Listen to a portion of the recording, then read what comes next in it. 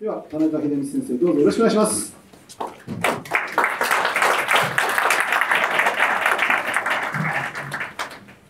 えー、皆さん、こんにちは。えー、まあ、あの、中野さんとですね、本当に、あの、この産地、まあ、前にもあのお話しして、今日どういうことを話すかということは、まあ、あの一応皆さんにはあの未来という、まあ、この日本の未来ということですね。これがやはり一番今、まあ、勝利の問題というかですね。さまざまな世界の動きの中で日本はどうあるべきかという問題をねあの、まあ、あしたいということなんで、まずぜひあの私としてもですねこういうことところでお招きいただくのは非常に本会なんですけれどもあの特に私はですねあの現代というものがねこう非常にビビッドに、まあ、皆さんの中に伝わってくるのは、まあ、インターネットのおかげだと思うんですけど、まあ、新聞とかテレビとかはね皆さんは考えなんです。あのお聞きだろうあるいはお読みだろうと思うんですけれども。結局これは一方的なあの要するにインフォメーションというかね情報しか流さないんですね。ですからあの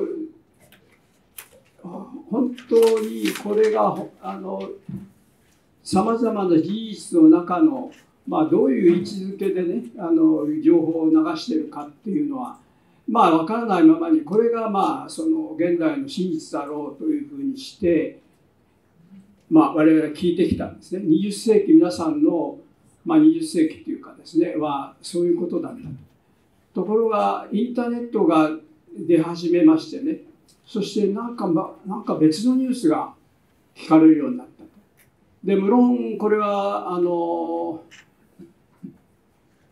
まあテレビとかなんかでやってるようなこう型にはまったというかですねこう時間が決められてですねその中でこう短く簡単にあるいはまあ分かりやすくというようなことで、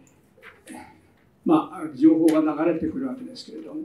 それと違ったですねこう、まあ、ある意味でダラダラと言ったりあるいはしっかりとですねあの意見を言ったりさまざ、まな、まあ、インターネットで流れてくる。でこれがここ56年ですね非常に充実してきましてですねで私はまあ YouTube であの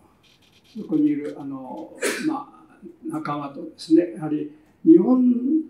人がどういうことを発言すべきかということをね焦点を合わせて、えー、話すべきだそれからやはりですね結局20世紀という世紀はですねまあここにあの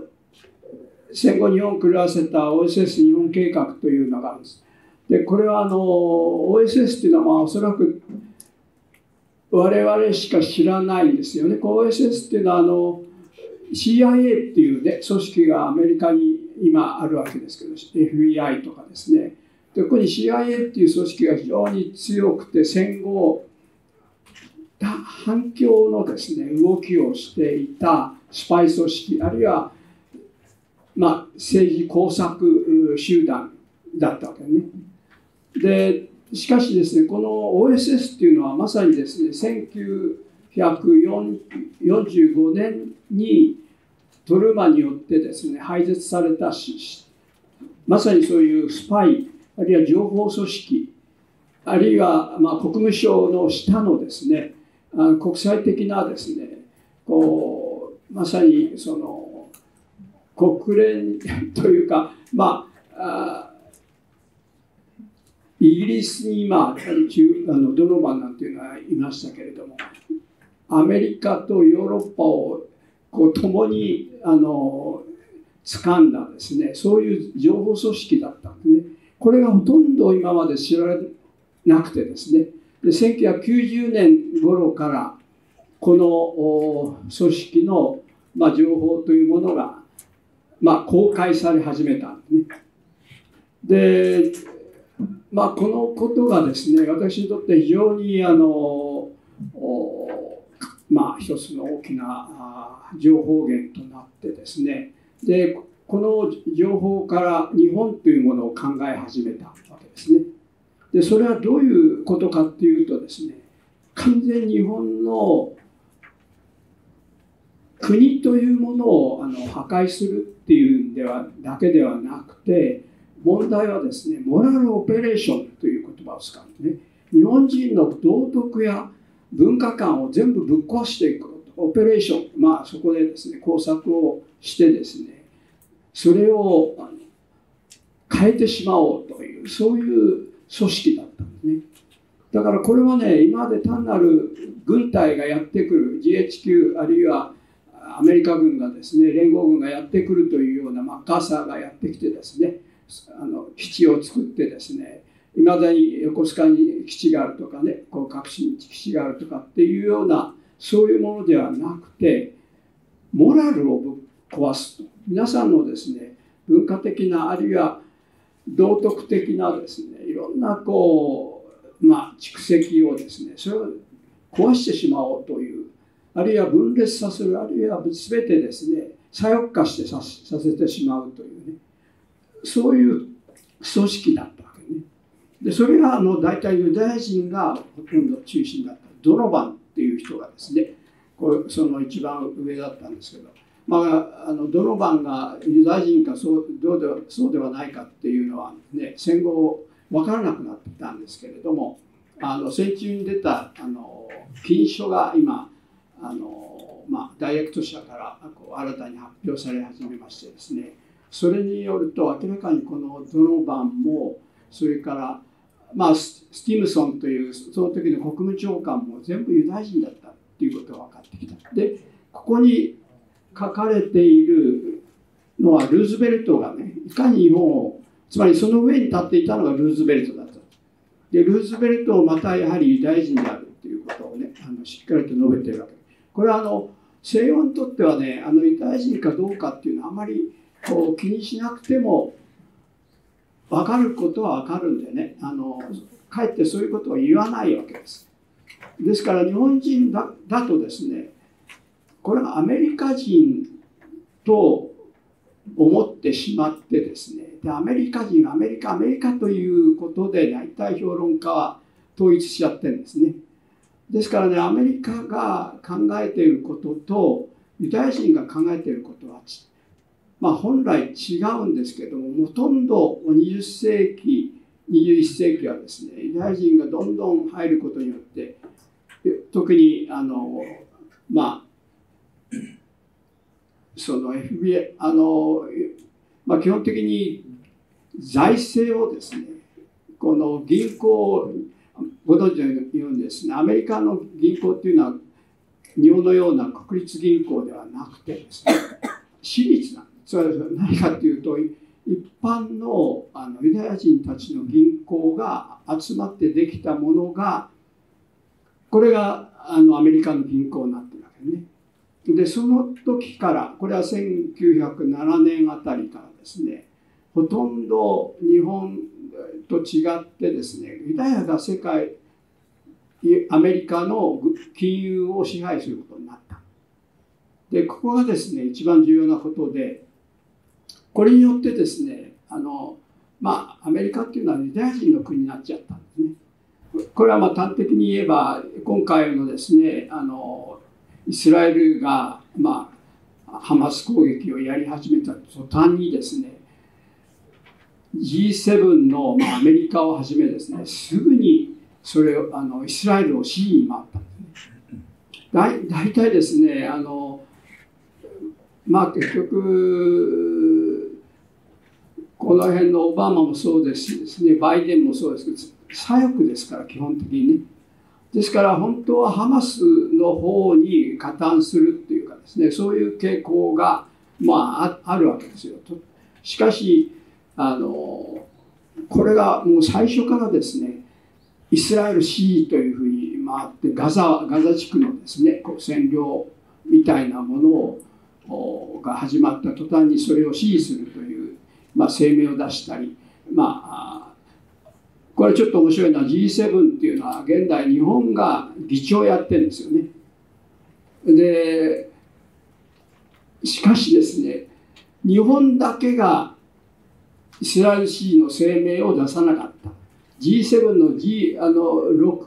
つまりカナダを含めてですね。このまあイギリスフランスイタリアですね、まあ、もちろんアメリカもそうですけれども。そういうこのドイツ、まあ、こういう G7 の G6 最後はカナダですけどね。これがもう全部一斉にイスラエルシーに回ったわけね。シーの、まあ、声明を出したところが日本だけがですね出さなかった。これちょっとこれがちょっとね面白い鍵になるんですよ。で今あの下川外長ですか外相が女性の外相がまあ今イスラエルとかねあのあまあ地に行ってま行ってますけど、まあ、イスラエルあのハマスをあの糾弾するサムを批判するというようなことでイスラエルの外相に会ってるわけですけれども日本はですね日本だけが出さなかったでこのことはね非常に面白いっていうかですね私はまあまあご存知の方は分かると思うんですけど、ね、私はあの日本にユダヤ人が来てたっていう歴史的な事実をつかんで、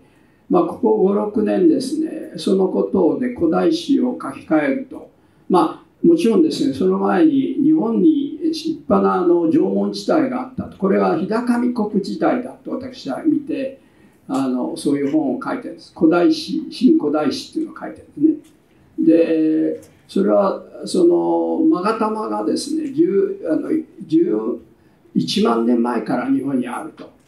そしてその勾玉が現代もですね皇居にその三種の神器の一つ。たった一つ。その三種の神器の二つはね熱田神宮と伊勢神宮にあるわけです。鏡とね剣は。でしかしその勾玉は皇室がお持ちなんです。つまり唯一天皇がお持ちの勾玉が1万年前にできてる。一体どういうことなのか。それは明らかに1万年前から皇室あるいは皇室の元になる家か家がですね。つまり家という、まあ、そこにですね日本人がいたということですね。でこれがあの私は非常にですね日高見国という国つまり日高見国という何かというと高間原というですねこう「古事記」や日本書紀に書いてあるその高間原が神や人であると。いうこう認識で日本はね神というものを信じるか信じないかというと世界で一番この神というものを信じない。まあ人間あの人人々なんですね民族である。ですから神という存在が皆さんはどういうようなイメージを浮かべるか知りませんけれども少なくともですね神話の人たちをアマテラスとかですねあの月読みの御事とか神というもので現実にこう感じたことがあるかないか、ね、で戦後特にですねこういう神話教育が全くなされないがためにですねあのこういうことを否定されてしまってまあ皆さんはそういうものはないだろうとただもうある種の神話だから一つのまあおとぎ話ではないけれどもそういうまあ作り話だというね国をまあ作るための一つのこう操作であるというようなことで、まあ、戦後はねほとんど無視されてきた。しかしですねここ2まあここ2 3 0年の縄文遺跡の調査から今度はそうは言ってられないと。もう三内丸山のようなですね立派な部落があって集会場まであると。そしてあの大きな柱が立っているというね。こういうことが分かってきてですね立派な国があったということが予想するようになったできるようになった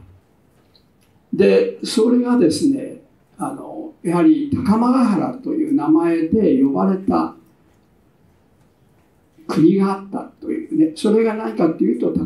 日高上国であるというそのそういうことが分かってきた。で神というものはですね日本人はまあ皆さんまあもう神と神社に行ってですね拝まれるように神がいるということはお感じになってるんですけれども神社に行ってですねここもこの神社は何を祀ってるのかなということはあんまり気にしないはずだよね。ですからあんまりこうそれが何々の神が祀ってあるというよりもまあひたすら拝めば、ね、こうご利益があるということをこう言われてですね、まあ、そういうどんな神であろうとそれはまあ自然神であるあるいはこう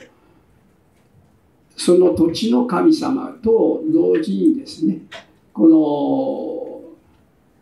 全体の神神話から続く神を祀ってると思いになってですねでそそういうことで拝まれると思うんですね。でまたあのまあいろんなあの拝めばですねこうご利益があるというまあ一方のねあのまああの欲望もあるしですねまあそういうことで支えられてはいるんですけどもあそこにですね結局高間川の神々がいたりあるいは出雲の神々がいたりですねそういうことによって初めてですねその神々が結局現実の人間現実の日本人であったということで歴史ができるわけですね。で私の仕事もですねずっとそういうことであったわけ例えばあのイザナギイザナミがいますよね。でこれがあの筑波山ににあの男山女山があって2つあるでしょであれが一つがイザナギであり大きい方がイザナギであり小さい方がイザナミであるということでですね、まあ、人々はずっとそこで山をね神様と見て信じていた。で、まあ、そういうことがあって結局イザナギイザナミっていうのがアマテラスつまり あのイザナミが黄泉の国に行ってしまったとこれはまあ火の神をねこう生んだためにあの自分自身が死んで亡くなられてしまったわけですけどそれで黄泉の国に行った時にイザイザナギがですね後ろを振り向いた。振り向いてはいけないというねこうおぞましい黄泉の国のですね姿自分の姿を見ちゃいけない、まあ、これは実を言うとねギリシャ神話にもあるわけでね。でそういうそれで見たためにまさにあのまあイザナミがものすごい、まあ、顔をしてですねこれはまあ追ってくるという。そして逃げおせたイザナギが三まあ三柱ですね。神を生むとそれがまあまさにアマテラスとあの月読みとですね。そしてまあこれがですね問題なわけこの後の一人がやはりこのまあおかしなというかですね。これがまたあのアマテラスをですねこのまあ例えばこの馬をですね馬の皮を剥いでで上からこうぶん投げてですねあのすごいこう狼藉を働くわけですね。このスサノオっていう男のスサっていうのがどうも馬という意味らしいんですけども、まあ、しかしいずれにしてもこの乱暴なちょっと日本人離れした人がですね一体一体何者かっていうのを分析していきますとこの人は後になって出雲に逃げるわけですね。それからアマテラスの、まあ、弟分なんですけれども花から生まれてまああのねこう左目がアマテラスと月読みが右だとすると花から生まれてこの花っていうのもちょっと面白いですね。ユダヤ人が鼻が高いんですよ。まあこれはまああのこういうスケールように見えますけれどもそしてスサノオがですね高間原で何をやったかっていうと、また今言ったような狼藉を働いたと同時にですね最後に追放される時にですね千の蔵を持ってたって書いてある。高マッハで千の蔵を持ってるって何だろう。でこれはだからね現実にはこのようにアマテラスも絹を折ったりですね。こあの高マハで神々が働いてるんですよ。でこれでお分かるでしょう。この高マハっていうのはあの天国じゃないんですよ。これはまさに現実の国である。現実のですね土地。であるということが分かってくる。そうするとこれがですねあのまさに日高国というで現実にその高島神宮今言った筑波神筑波山それからまあこの辺のまあ3つの神宮があるわけで、あの鹿島神宮香取神宮。この辺で高間原という土地が3つも名前が残ってるんですよ。でこの高間原っていうのはどういうことかっていうと天の原振崎名馬という、ね、山があのこれは富士山のことをね天の原っていうんですね。でこの富士山を見える関東とこの一まあこう平野があってですね。で富士山と筑波山が見えるこの辺を高間原と呼んでたっていうことが分かるんですね。まあ、こういうことはねあの、まあ、私はギリシャ神話とか、まあ、ギリシャローマ神話あるいはユダヤの神話を、まあ、ずっと研究してですね一体そういうものがどうやって起こったのか、まあ、モーゼがですねあるいはアブラハムがシナイ山であるいはあの神話っていうものが非常に現実である旧約聖書におけるこの神話っていうのは本当に歴史と結びついているなっていうのは分かるわけですけれどもしかしだからといってじゃあ神話あのその現実の話そのものかっていうとそうでもないだから神話の読みこ読み方があるわけねですからねイザナギとイザナミが生きてるところ兄弟なんですよ。お兄さんと妹なんです。だから最初か最初に生まれた子は昼子なんだっていうことはこれは初めてですね。子の兄弟が産んだ子が神様ですからね。昼子なんて産むはずないのに昼子だって書いてあるわけね。そしてこの昼子がなぜ生まれたかっていうのをまた別の神様に聞いたら、ね、神様わからないって言うんですよ。こういう神話なんですよね。非常にこれはね日本の神話っていうああそうか。現実の歴史をそのまま反映してるんだなっていうのが分かる。でそうしますとね高間原が全体的に関東東北この一連の地域を高間原と呼んだと。でそれがそこに日高見国という国があった。この日高見国っていう国はの名前はですね初めてお聞きな方も多いと思うんですけれどもこれは日本書紀も古事記も書いてある、ね、で大和武がですねこう日高見国から帰ってきたというようなこと日高見国っていうのを言った言ったりですね竹内宿根がですね日高見国から帰ってきたというようなことも書いてある。そういう日高見国っていうことが何気なく書いてあるわけですがこれがですねみんな知ってる名前なんですね。ですから祝詞っていう旧世紀に出てくる祝詞にですね。日本は何か大山と日高見国だって書いてある。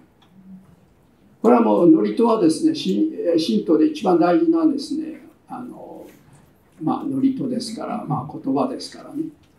これは確実にと言ってもいい。日本には大や日本は大山と日高見国だったということを述べて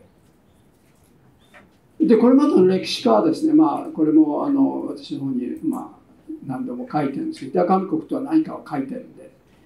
あのしかしまああのここで繰り返しますけれどもこの日高国っていうのが日本だった。関東東北だった。大和っていうのは大和ができ関西がですね中心になった時の国を大和って言ってその前の日高見国と言っていた。これが現実にあったっていうことをね9世紀ぐらいの人々が知っていたわけです。ですから日本はちょうど縄文時代が日高国だったっていうことが分かってきたわけね。で日高国っていうのはどういうことかって火が高いところを見る国。でこれはですねあの日が高いところから人々を見ている国という意味でもある、ね。ああこれで分かったと。でこれは皆さんがねあのおばあさんからあるいはおじいさんから知りませんけれども聞いたことがあるお天道様っていうねお天道様っていうのが日本の神のねつまり、えー、これこそが本当の日本の神であるということが、まあ、大体これで予想つくわけです。まあ、歴史のいろんなこうあやをこのほぐしていくとこうなるんですよ。だから私はまあ文献とそれから現実に土地に行ってですね調べる。そしてそこに発掘されたものをこう形を読み取るというね。これは私はまあフォルモロジーって言ってるんですけど形を読み取る。これはまあこの時期は全然言葉がつまり文字がないから。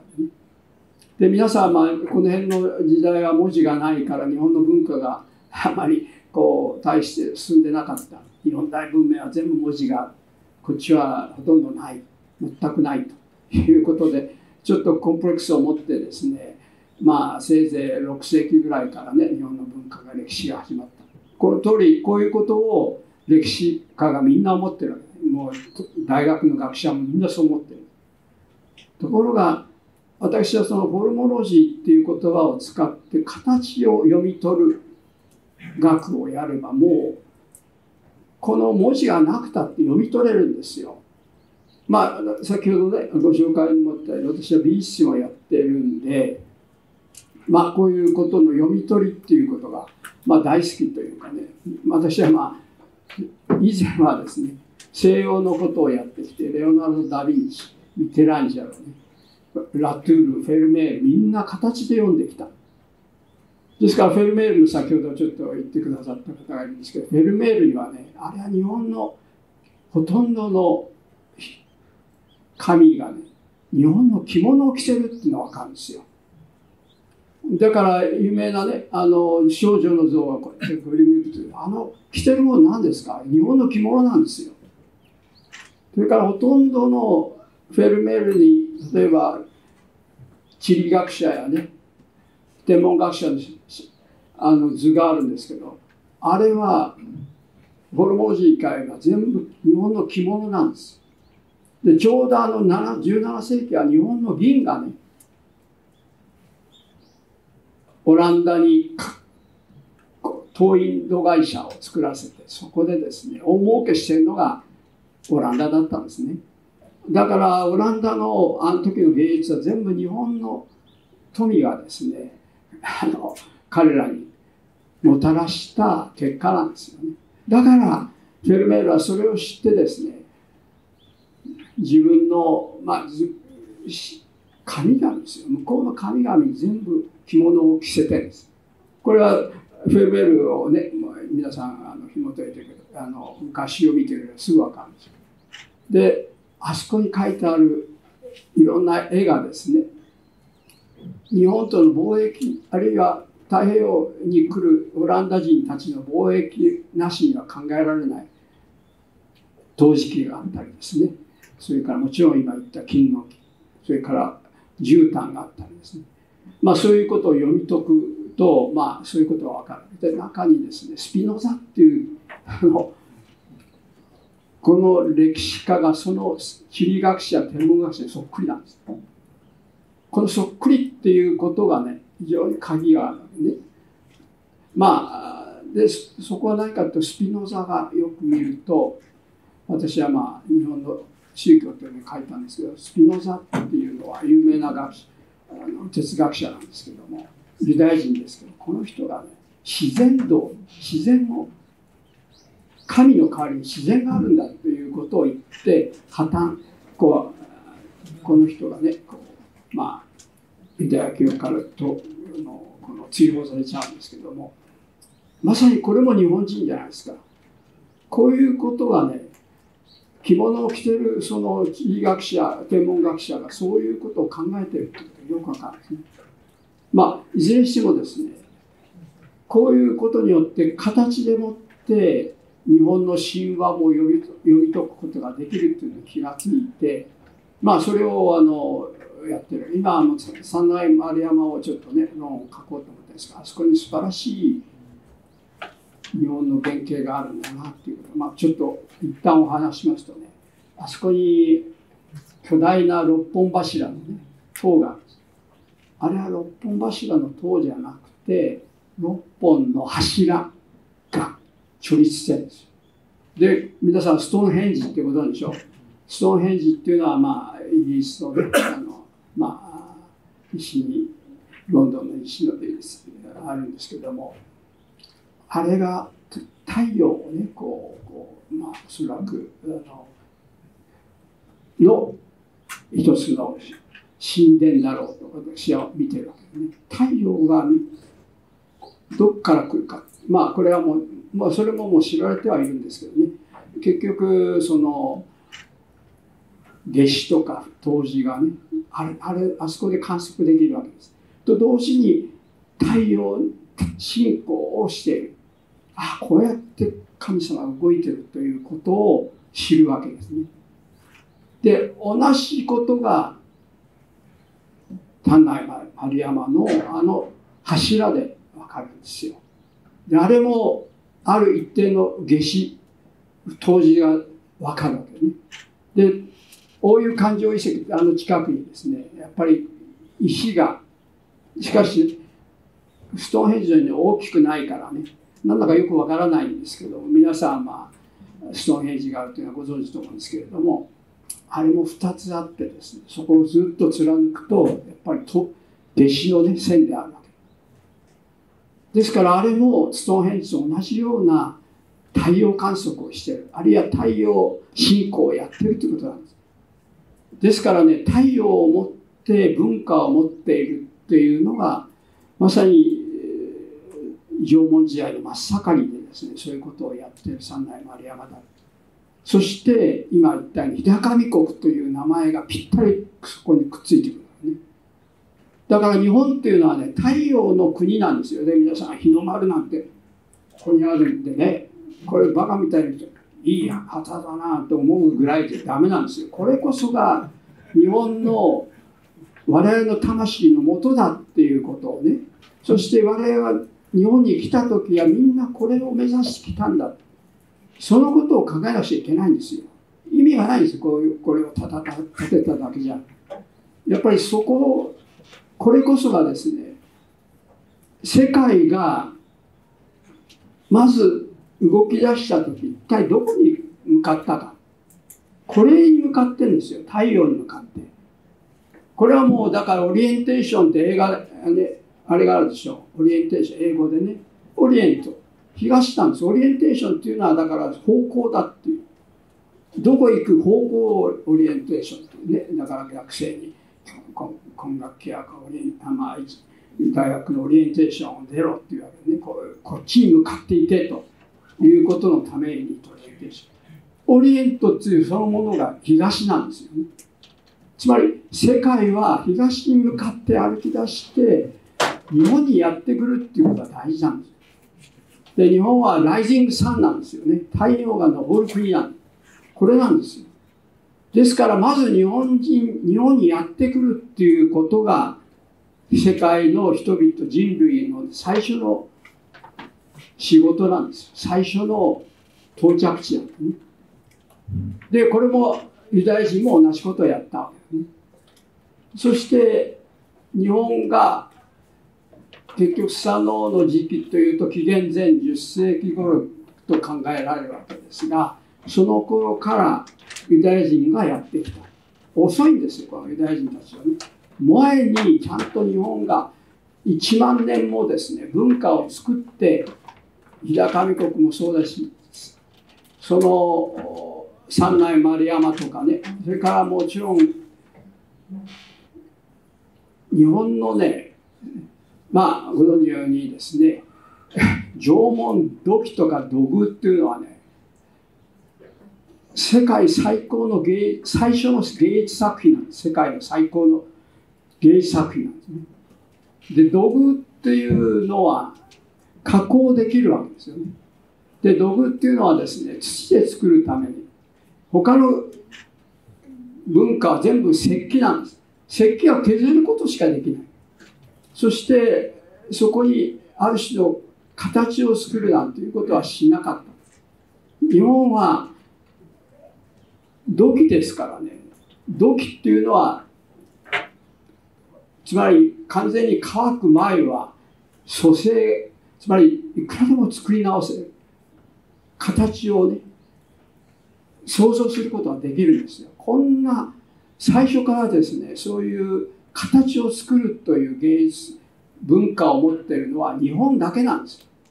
他のものは全部親戚旧石親戚な。石器は削る叩くだけなんですねだからいかに日本人が粘土を使ってですね形を作るっていうことを好んでその形を読み取るっていうことが日本の縄文文化をこの知る、まあ、大きな手立てになるわけね。で私はやっぱり縄文土器と土偶について論を書いてあの書いてますし、まあ、それについての、まあ、時代的な考察をやっていて、まあ、次の校舎の本に、まあ、こういう形で出ると思いますけどねそうするとそこに厳然とした文化がそれから美があるんですよ。まあ、私はあの美っていうのが、まあ、私自身があの美っていうのが日本人間の本当の動物もできないあるいは機械もできない現代のようなね機械だな AI で何でもできるっていう時代でもできないことは美なんです。美っていうのは何かっていうと人間性そのものであって人間しか考えられない。例えばわびさびだって一種の美ですよね。だけどこんなものは AI 産業でできますか？そこにあるという自然しかできないんですよ。でそれはもうそこにそういうものを発見するその美的センスしか作れないですね。そんなもんなんですよ美っていうのは。これ見よがしいっぱい AI 産業を使ってですねいろんな漫画。だから漫画がだダメなのはそれなんですね。そこに本当の美がないんですよ。ただそこに話はありますよ。その何か物語がある。しかし美はないです。でこの美っていうものが人間にとって一番重要なあるいは一番深を深いですね。表現なんですよ。で私はそれが日本にたくさんあるっていうことを言ってるわけ。私は最初行ったのはイタリアじゃないフランスなんですね。フランスでドクトラの論文を書いてこれもラトゥールっていう美なんですけどね。その後まあレオナルド・ダ・ヴィンチミケランジェロイタリアに行ってですね美その後の美の信号っていうか一番深いところを、ね、考察してきたんですよ。でこれはもうちょっとねだからまあ私はあのずっと東北大にいたもんですから本当に時間が自由でですねつでもヨーロッパに行けるわけで、まあ、東大にいたらおそらく会議会議会議でですね到底動けないところああいう中の大学いたもんだからとっても楽で。自分が好きな時に行ってたんでねで留学もやったしそれからあのシステラ礼拝堂というねバチカンの一番中核のねあの礼拝堂の天井画の研究を5年やったんですよ。これはもう全部ま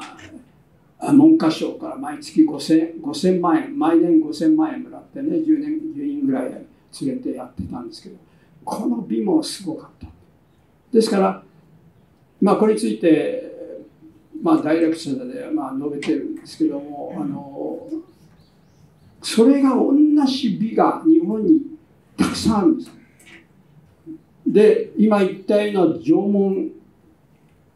土器もそうですし、まあ、縄文土偶の方はこれはねまあはっきり言ってあのこれも分析してるんですけどこれは完全にですね。今言ったヒルコなんですよ。イザナギザギメがねつまり日本人は縄文時期はですね兄弟あの縦穴住居っていうのは何か。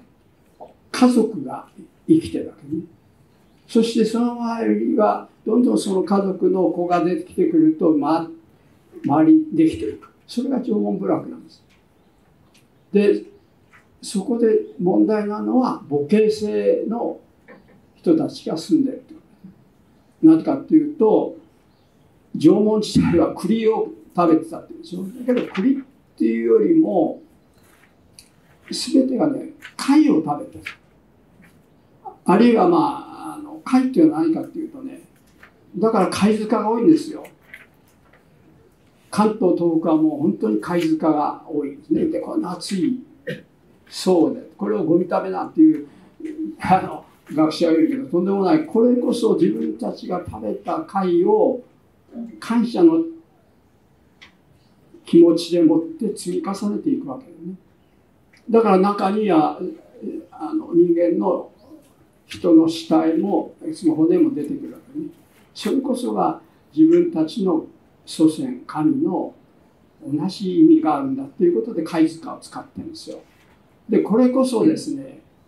まあ一方ではやはり女性が強くなった。だから母系性ができる。これは高間まあ高浜時代がそういう時代だっていうのは分かる。ですからさっき言ったようにイザナギがイザナギが声をかけてイザナギに「いい男ですね」なんて言って誘惑するわけですよ。兄弟ですからね、まあ、そんなこと知ってるはずなんだけどまあまああの辺が面白いわけです。で逆に回してまともな人ができたというつまりイザナギお兄さんの方からあなたいい女だなということでなった時から正常な子が生まれたと書いてあるんですけど実を言うと結局それはどうもスサノオが来てかららしいんですね。でスサノオっていうのはやっぱり外から来た人なんでそういう近親相関のことを知ってるんですよ。ですから彼らはねまさにそういうこう家族から離れちゃった人が日本に来てるそこで初めてですね正常な子が家族の中でやってちゃダメだっていうことを教えるわけだよね。まあその辺はちょっと余計な、まあ、あの言う必要ないことかもしれませんけど一応そういうことでね彼らが来てからねイザナギは一人で産むわけです。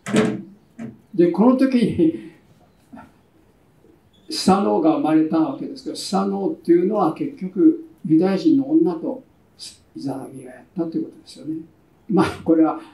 親戚その3人が全部違う目目と目みんな違うっていうねおそらく違う女だったっていうことまあ女って失礼ですけどだからそういうことによって生まれた子が日本の神々である。それは同時に人であったっていうことが分かまあこれはもう新井白石っていう江戸の、ね、学者はちゃんとそう言ってるんですよ。日本はね神々がいないんだと。みんな人なんだっていうことを言ってるんですね。まさにそれズバリですよ。日本はね神々なんていうのは具体的な自然というものがないと信じられないんですね。関連的な神なんていうのは信じられないんですよ日本人は。ですからね今だってキリスト教徒が1%もないでしょこれはまあ何度も言ってるんですけど。これはねだから神が信じられない。神がどっかにあるなんてね。そしてまあこのことはまた別の機会の話です。現在がわからないというね。まあそういうことがあってまあ今実を言うとハマスのイスラエルの問題はまさに宗教の問題でしょうこれはね。だからハマスあるいはイスラム教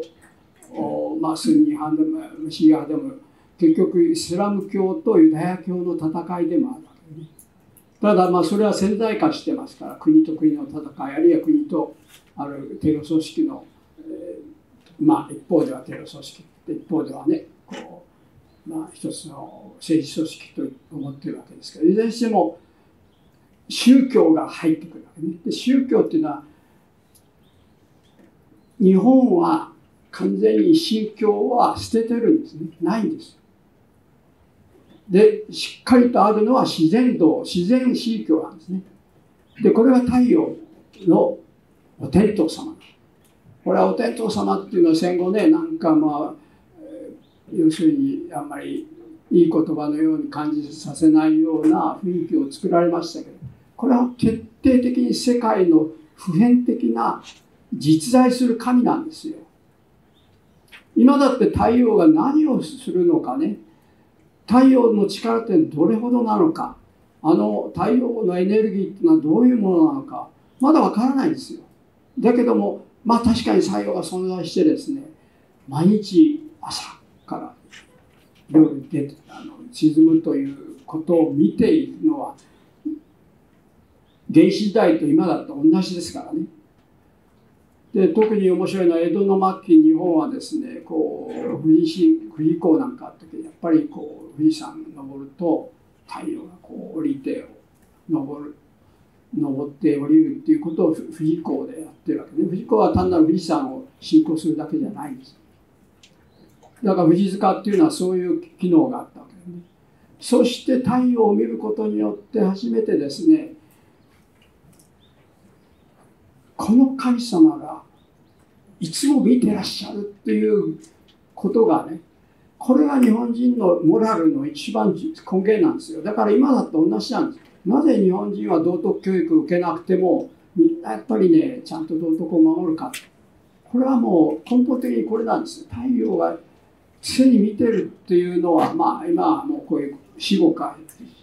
してしまいましたけどねお天道さんでもみんな潜在的なんでこれは消せないんですよ。何かというと毎日やっぱり登って降りてるからね。でこれがないと四季も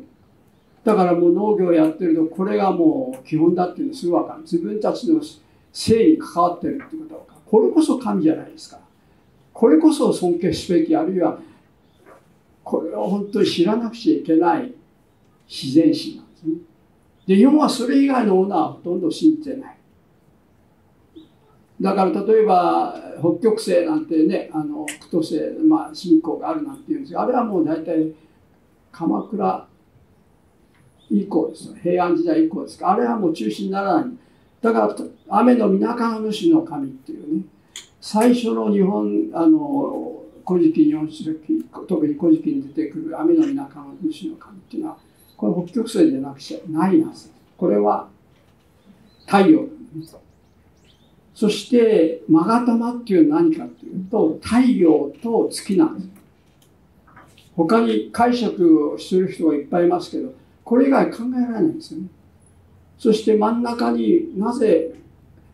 穴があるか。これは太陽を見るためなんですよ。つまり太陽っていうのは直接見たらもう目が焼けちゃいますからね。ですから太陽を見るために日本にやってきた彼らがまだ太陽が出てる。そこから日本から生まれたわけじゃない。そういう人はベーリング海峡を渡ってアフリアメリカに行ってですね。あるいは太平洋の、ね、南を渡ってまあ南米に行ってるわけです。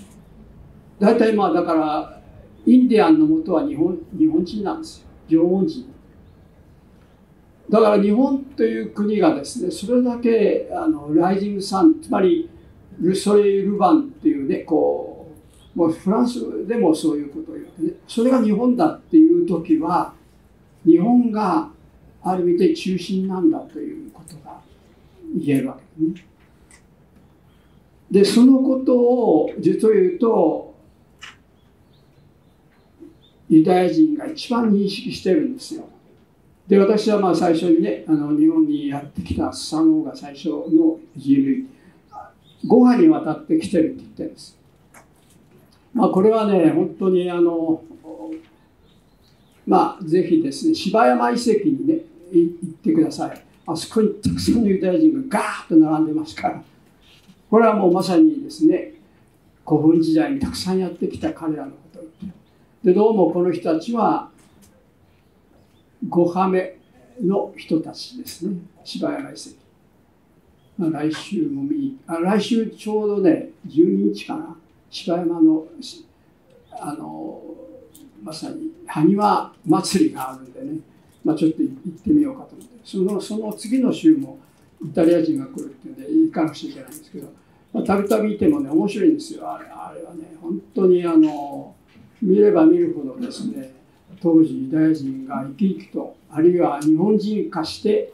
生きてたっていうのはよくわかるし関東だけじゃなくて関西も九州にも出てきますからこういう大臣がいたっていうことをねこれを知るっていうことは一番大事なことですよ。皆さんにとって。それは何かっていうと皆さんの D2 っていう DNA がですね大事の違うんですよ。だからこれをね確認するためにはこういう人が来てたっていうことを見に行くっていうことは絶対必要なんです。ところがこういうことを今ね完全にその戦後の教育が過去っていうものをもう全て間違いだって言ってますからね。全然 NHK なんか古いことを時々やりながらもこう一切触れてない。邪馬台国ばっかしやってるんですよ。邪馬台国なんて実際ないですから。これも本を書いてますから皆さん見ていただきたいと思うね。これはどこにもあの神社も何もないじゃないですか。でこれを全部そういうものを信じさせたのが戦後教育であるわけね。で私はまあこういう本を別に書いたんです。日本と中国の外交史の真実で義手話神殿っていうのはそのことがね彼らが日本日本から貢ぎがつまり常にこうけんあの遣唐使もそうですけど全部貢ぎを持ってくるという歴史なんですよ。中国が言ってる全部嘘なんです。一つ一つ全部調べたんです。そしたら何の日本から行ったという証拠もないしですね。向こうが言ってるだけのことであって日本の歴史と対応してないんですね。これを詳しく述べてますからね。これも見ていただきたいと思うんですね。つまり中国には意外に何の関係もない国なんだなっていうのが分かるんですねこれで。な と同時にですね面白いのは中国こそ日本にずっと憧れてたん孔子が憧れてたっていうことをちゃんと書いたんですよ。孔子はもう紀元前5世紀6世紀の人ですけど彼が日本に憧れていたっていうことがねちゃんと書いてあるんですよ。で日本こそ道徳の国だって書いてある。ですからあの儒教ですから道徳の主みたいな人が、ね、日本こそ道徳の国だって言ってどういうことになってるかわからない。つまり結局中国っていうのは道徳がないから道徳家を作ってるわけね。しかし日本はもうお天道様ですからあるいは自然道ですから自然がきちっとモラルを作ってるというそして人間も自然だということだ、だから自然だからですね 誰も現在なんて感じてないんですよ。自然が作ったもの何が現在があるはずはずか。ところがアダムとエヴァを見てみればですねアダムとエヴァってエヴァって何かって肋骨。アダムの肋骨から出てるんですこんな不自然なね人間なんて一個ないですよね。だから不自然なことやってればなんかおかしいっていうことは分かるわけです。どっかねやっぱり人工人間なんですよあれはね。エヴァなんて女性が。ところが女性こそが子供を産むわけで。だからアダムとエヴァがですね禁断の好みを、まあ、食食べるなって言って食べちゃったっていうこともあるしですね。まあいろんなこうそういう神が言ったことをするなって言ったのをこうしてしまったっていうことなんですけれどもそれでこの裸のまま追放されたんでね。これが人間のもとなんですよ向こうは。イスラムユダヤ人は。そしてこれがキリスト教徒もイスラム教徒も同じなんです。だから三大宗教全部こういう考えを持ってしっかり持ってるんですよ。だからトランプ大統領と今度ジョンソンなんてなってジョンソンさんなんていうのはあれですからねものすごい新人家ですからねアメリカの保守が全部このキリスト教によって保守なんですね。日本人は1%もいない。なぜ日本人は保守なのかっていうと、このお天道様。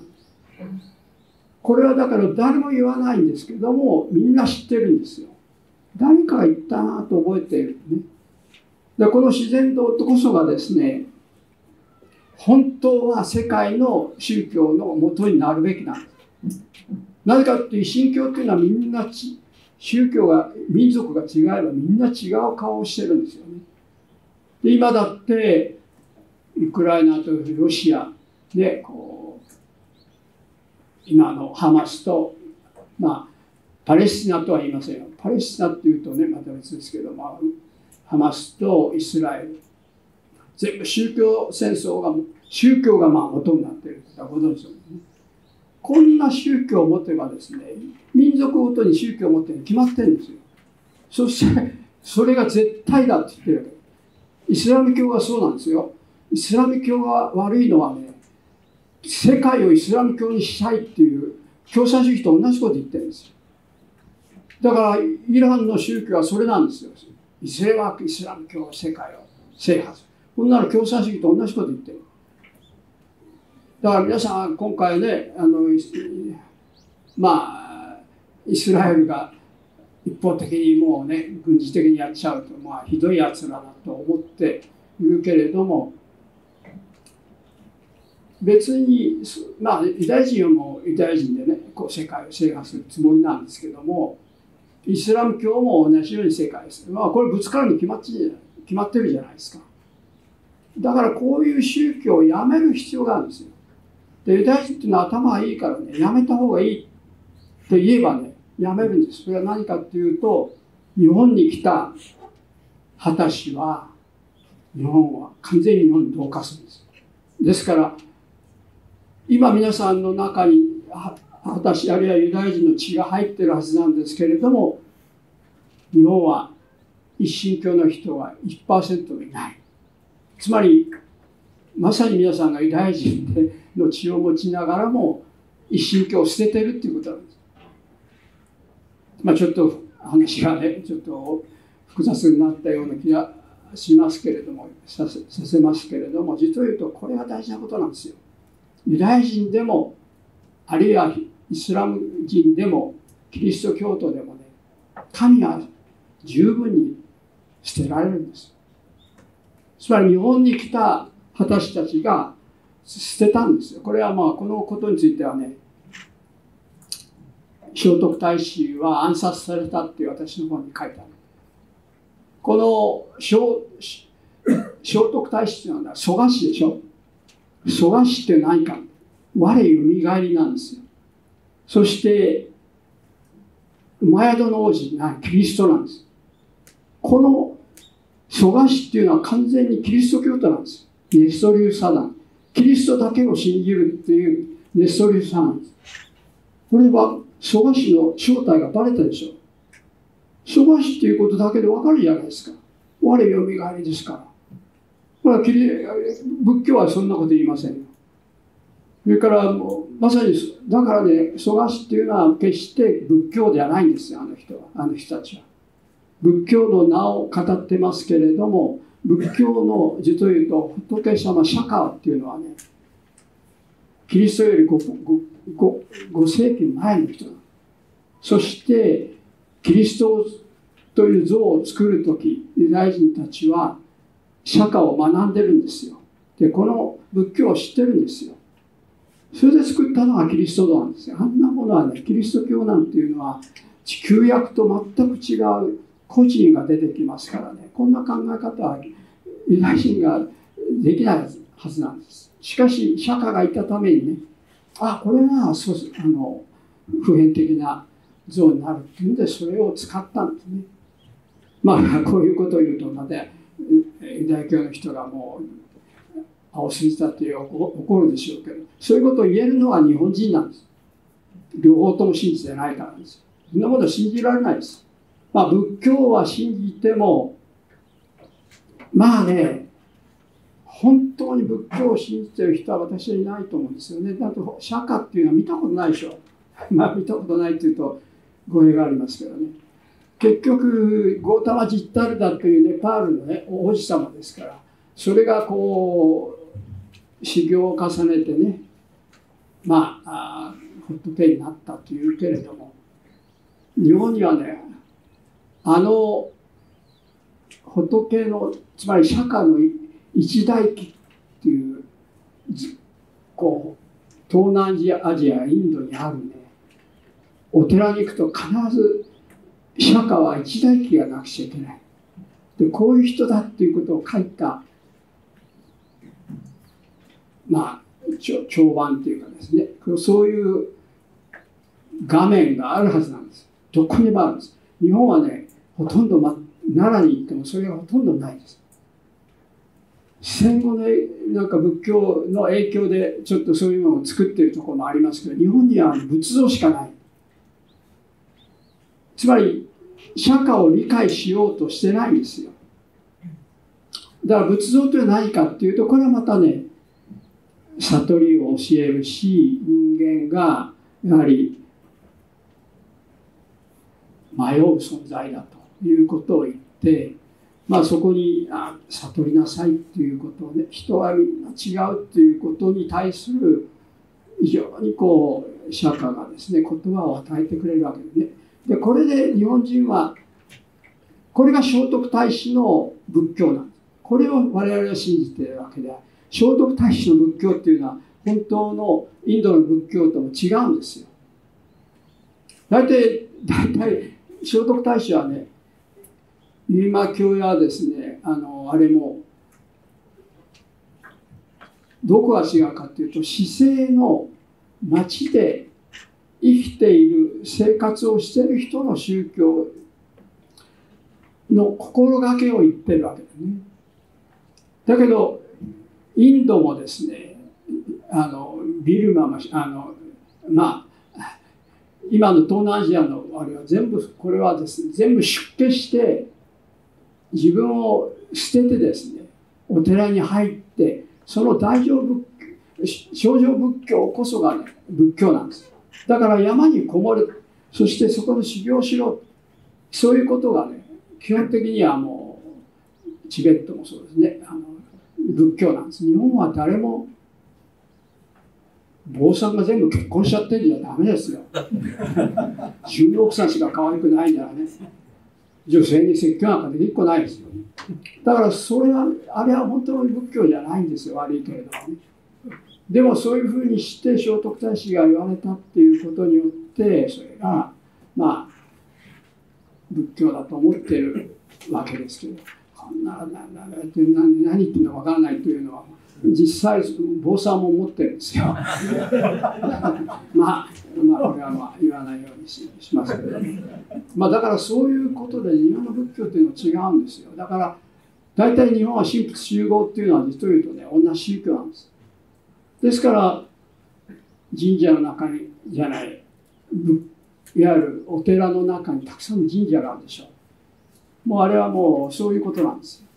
神と共にあるで神はどんな役割をしてるかというと日本の神社はその土地を土地の神様ね自然の神様木がいっぱい生えてるそして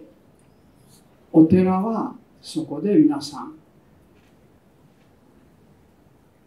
まあ、悟りなさいと。みんな大したことないよということを言って、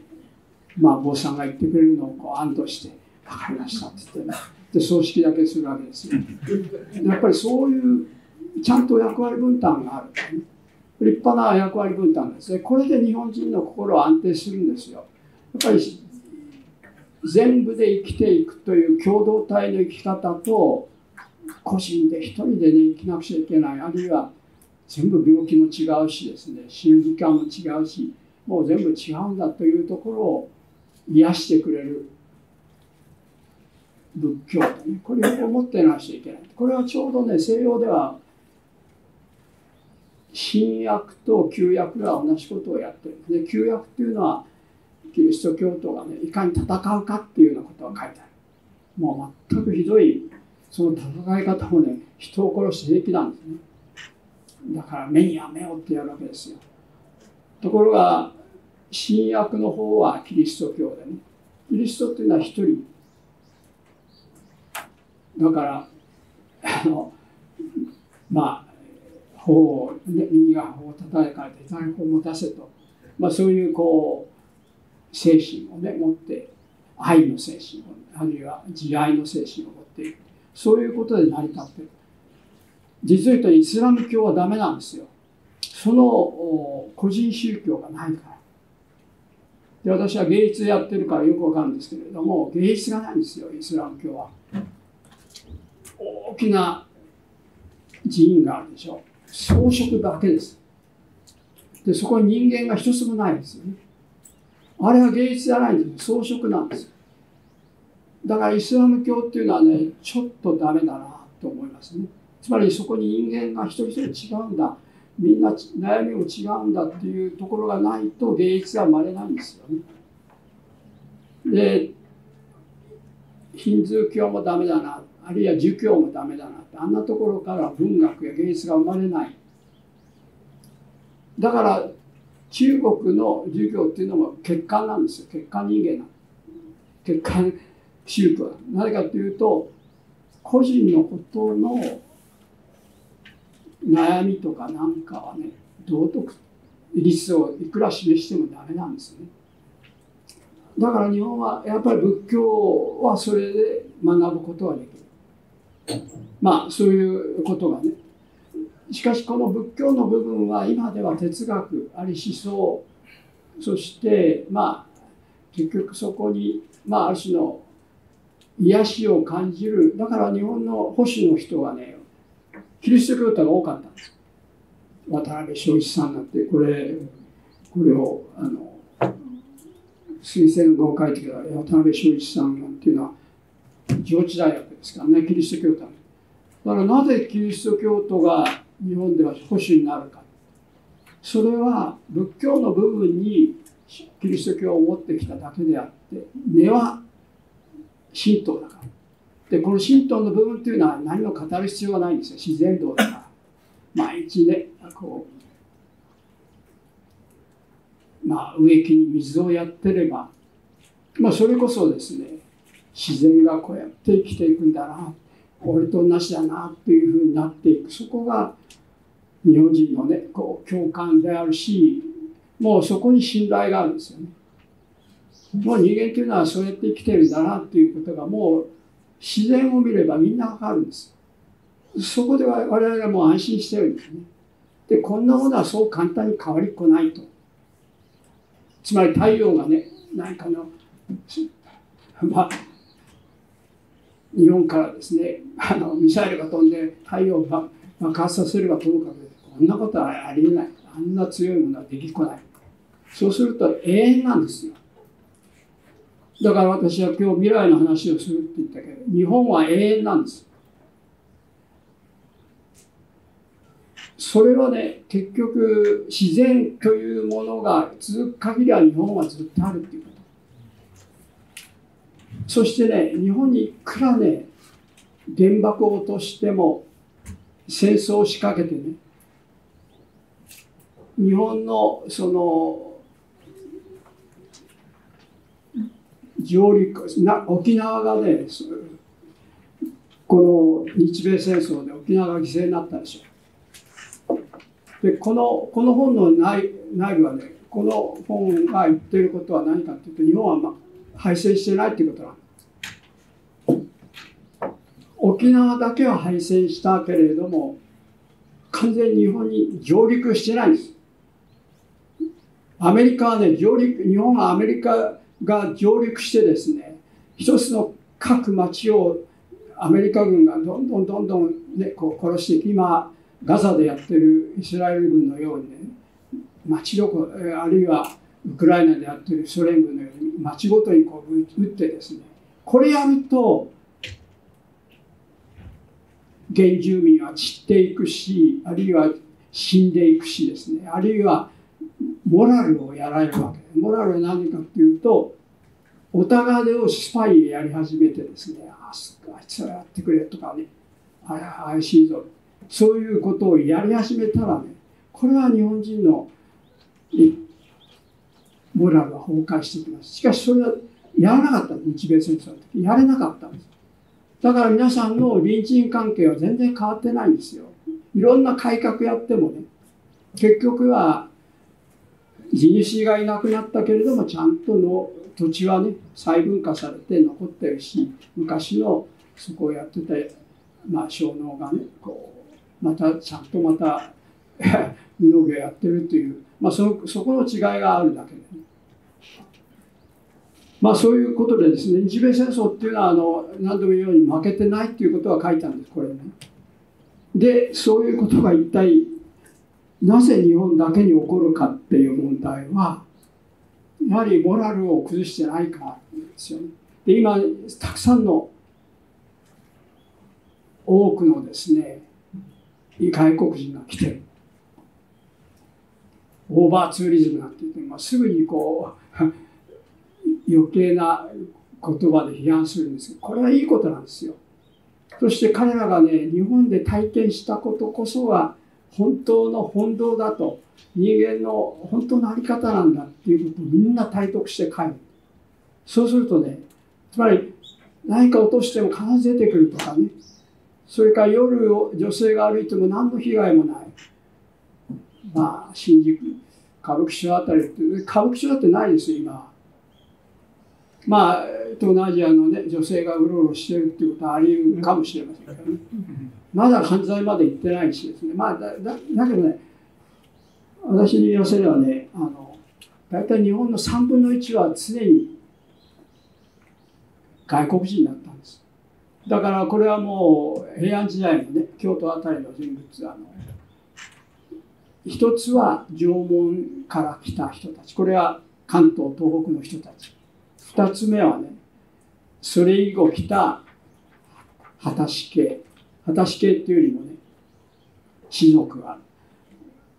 で3分の2はね実を言うと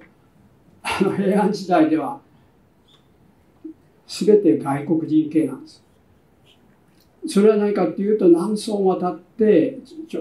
中国人朝鮮人だけじゃなくてユダヤ人がやってきてそして書き回してるわけね。そして特に最後の3分の1はこれは明らかに外国人と自認している人たち。これがまだいたわけね平安時代でそこに果たしそれから恥しとかね。もういろんな名前をつけているわけ。ですおそらくその中に皆さんもの名字もあるはずです高橋さんとか林さんとかね。まあそれは全部あの私の本に書いてあります。大体自分がねこう何何しかって分かるんですよ。そこに越智さんいるから越智さんなんていうのはねやっぱりあれも出雲系ですからね。だから自分のこう血が成り立ってるところが分かるわけね。だけどまあそういうことはねこの前あの脳の方とあの、まあ、対談したんですけど大倉さん。これも自分はもう果たしたって言ってるんですね。しかし完全に日本人なんですよ。まあちょっと脳のことを言うとあれですけど、まあ、私は美が好きなんでね何でもそういうことをやるんですけど沖縄っていうのはいいでしょ。沖縄っていうのはね実を言うと脳の中でね果たし系じゃない唯一の役柄なんでだから面白くないんですよ。あれは。沖縄っていうのは出てきてね面を1回変えるだけなんで 2, 2回目は黒い白い面と面黒い面をつけるわけそれだけなんですよ。で、とうとういろいろなんだかんだって言ってですね、何言ってんだかわからないことを言わけね。あれ、よく見て分析したら、あれ水だなと。水のこと言ってとうとうと水が流れる。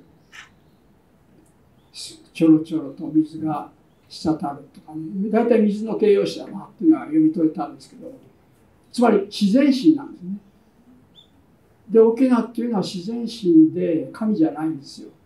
そしてあの人こそ老人老朽になってニコニコしてるね。そして白い目の時は輝いてる。昼間は輝きね。夜は黒い目をつける。あるいは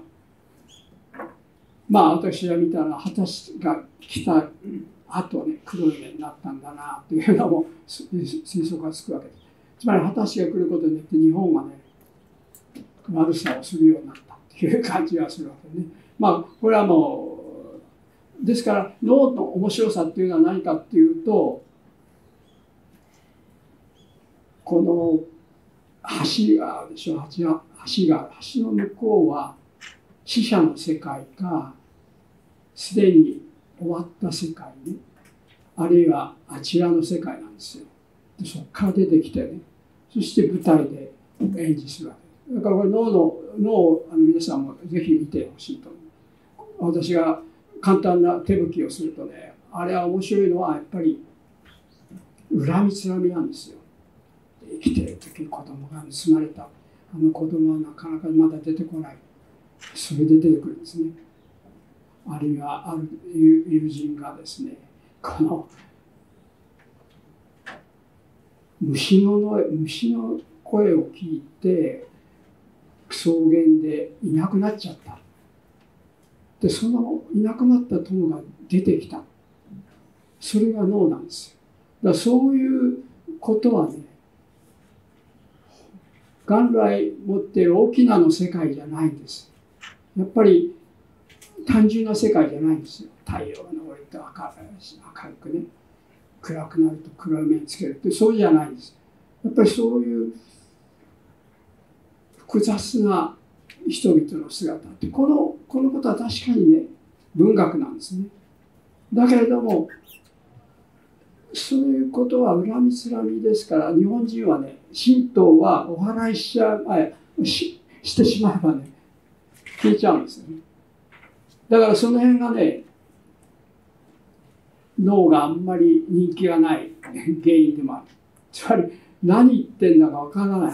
寝ちゃうというね。なんで寝ちゃうんだろうというのはもう退屈でしょうがないからね。そういうことは結局自分たちと同じ世界だからね。その程度の恨みつらみだったらそんなに騒ぐことはないよと。いうのはそれは何かというと神道は全部お祓いしまえば消えちゃう。んですで私はこの前鹿島神宮でお祓いの式に出たんですよね。そうするとお祓いのあのちまきのね茅の中を通っていく。三本通っていく。そして神主さんにこうやってお祓いする。そうすると半年の病も半年のね罪も全部消えちゃうんです。で現在も消えちゃうんですよ。ないんですよ。だから神道っていうのはいかにね果たしが作ったかっていうのもよくわかるんです。神道はそういう本当のねユダヤ人が捨てた時にユダヤさっき言ったように日本のユダヤ人は全部ユダヤ教を捨てたんですよ。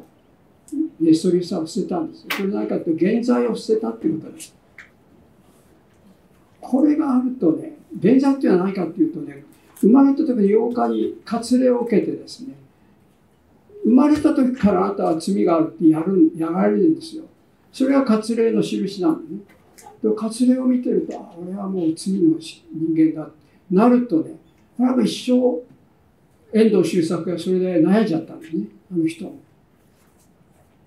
大体日本にいるキリスト教徒の作家はみんなそれで悩んじゃって俺はキリスト教になるつもりなかったのにキリスト教になってるからね。それで文学を書けるなって。まあそれで書いてるのが多いわけですね。だけどそんなのはもともとそんなの嘘だと思えばいいわけなんだけれども嘘と言えないもんだからあんなに立派なヨーロッパの人々がそう言うんだから。私はねちょうどあのバチカンでさっき言ったようにね必死な大ハードの研究5年やってるんですよ。そしてさっきも言いましたよね。で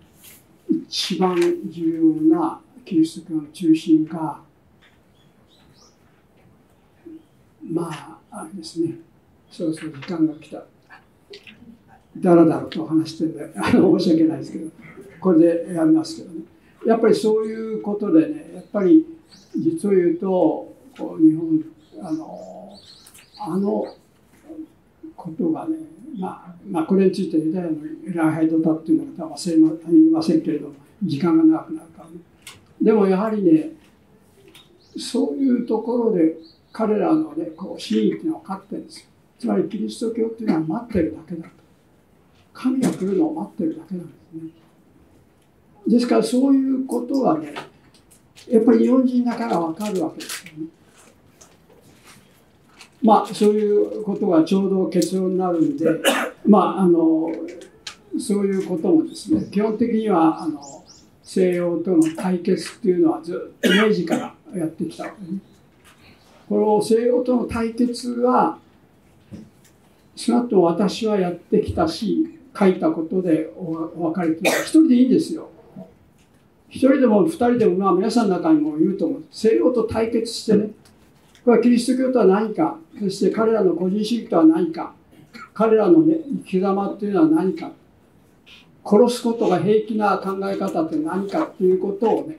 知ることが大事なんです。だけども、皆さんが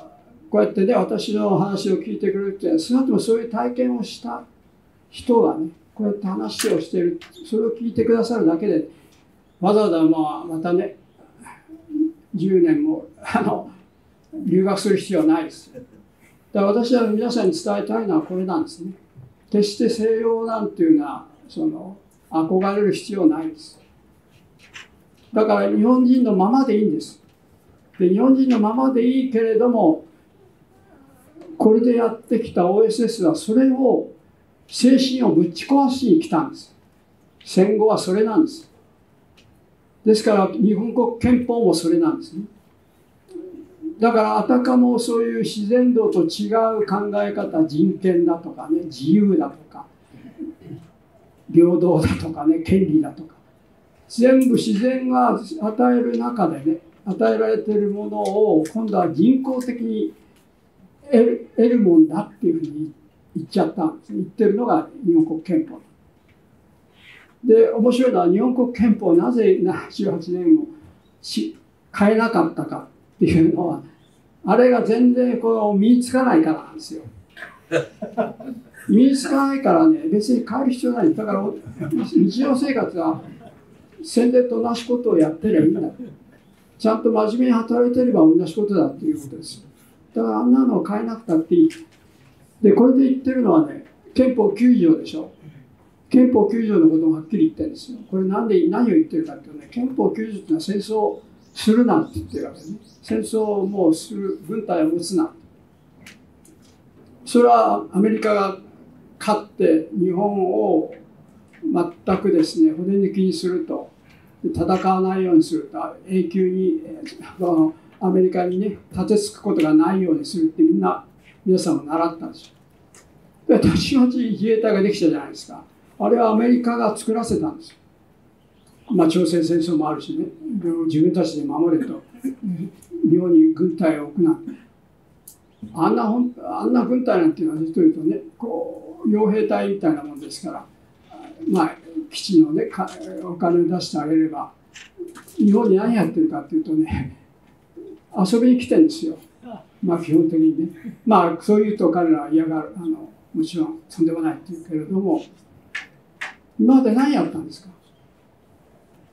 彼らはなんか日本人を管理しに来てるんですか？横須賀からこう出てねスパイがいっぱい来て日本に行ってこうあの買い物にしてないんですよそういう人は。それからもうあそこにいるそれはもうすでに朝鮮戦争の時の基地にはなった。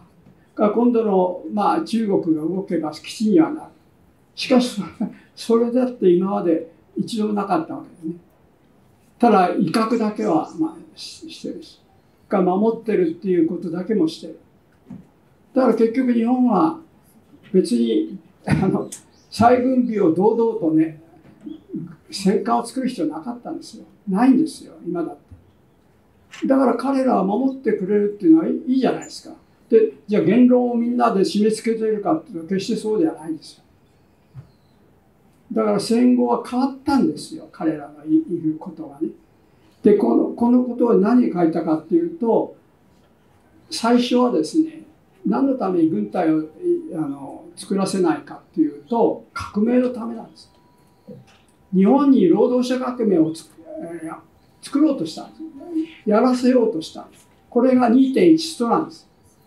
つまりあの1945年8月15日に終わった後何やったかっていうと共産党を牢獄から出してきた。そして完全に組合活動で盛んにやらせたで2.1数まで行って2.1数の時に野坂三蔵をここにちゃんと書いたんです。中国から連れてきたんです。よで中国は毛沢東。日本は野坂三蔵で共産党政権を作るっていうことはっきり言ってるんです。これが OSF 計画ところが野坂三蔵はだからね彼が中国から帰ってきた時はもう野坂先生万歳ってあらゆる階層の人がね迎えに行ってるんですよ。これは全然それ以後のね記録にはそれを全然示いませんけどその時そうだったつまりマッカーサーに代わって野坂政権ができるっていうところまで大橋ですが計画してるんですよ。で毛沢東は成功したんです、うん、毛沢東の持っている軍服も戦車も全部中アメリカ製だったんですよ。これも全部書いてありますからね。決してソ連製じゃないんですつまりあれはアメリカによって作られたんです政府が中国政府っていうのは。なぜかっていうとルーズベルトはですね共産党員ですから共産党主義者共産主義者ですからスターリンと共に世界を全部石化しようとしたんです。それが OSS 計画であったねところがそれがトルーマンが出てくることそれからそれ以後のねソ連がまあ鉄道カーテンに入ってつまり同盟ソ連は何やったかというと東欧を全部取ったそして日本も取ろうとしたんですけどそれ失敗してね。だから東欧だけで満足してあるいはそれ以上の力がなくて彼らは共産国として鉄のカーテンをねやっぱりまあ作ったわけね。それで完全にソ連と中国対立っていうのが冷戦となって戦後を作ったわけ。だけどその革命が失敗したんですよ。日本は。2.11をやめさせたのもアメリカなんででアメリカが変わったからなんです。もう簡単なことなんですよ。アメリカなんてどんどん変わるんですよね。でそして まあその時の力のあれでね均衡でもどんどん変わるんですよ。ですからアメリカが日本に支配してるなんて思わなくていいんです。でさっき言ったようにね。で革命が起きないように軍隊2.1した時はもし成功したらねアメリカは引けばいいわけ。すと日本の軍隊だけだとねないから軍隊がないわけですから革命が起きやすいわけです。だから日本の国憲法の9条は革命が起きやすいように設定されたんだそう取っていいわけ。でケイディスっていう民政局の局長民政局の、まあ、局長じゃないけれども憲法を作った人もそのつもりなんです。でこの人たちは全部ユダヤ人の共産主義者だった。まあこれがもうみんなここにね書いてあるわけですけれども。ですからねそういうことがね分かると何もしなくてよかったと。い。うことになる。つまり結局それでもってね今はだから憲法9条改正を反対しているのは何か共産党でしょ。共産党と立憲民主党ですよ。それは何かというと革命を起こすためにあれがあった方がいいからね。つまり軍隊がない方がいい。軍隊があればねこれは実を言うと長い間つまりロシア革命がね軍隊が壊滅した時に革命起きてる。ところがハンガリー革命ドイツ革命はね